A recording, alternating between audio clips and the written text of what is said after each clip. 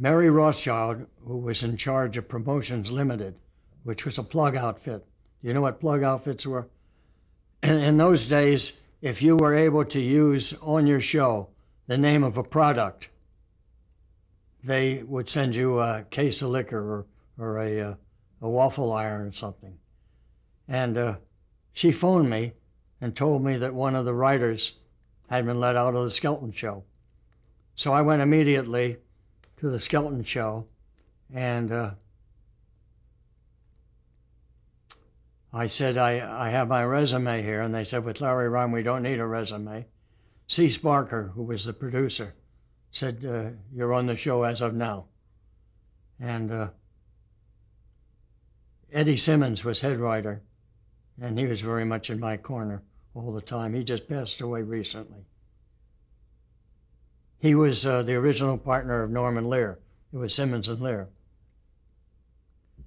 So uh, I often tell the story that on the opening show, Eddie, Sim, Eddie said to me, Do you want to meet Skelton? And I said, Well, if I'm going to work with him, certainly.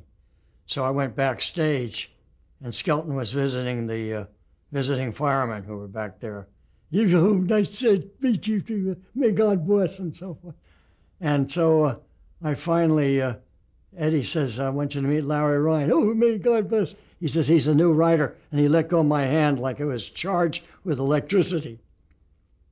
And uh, it bothered him.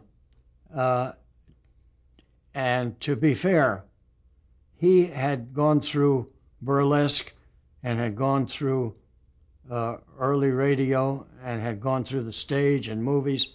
And a lot of these characters uh, had been created by himself and by writers.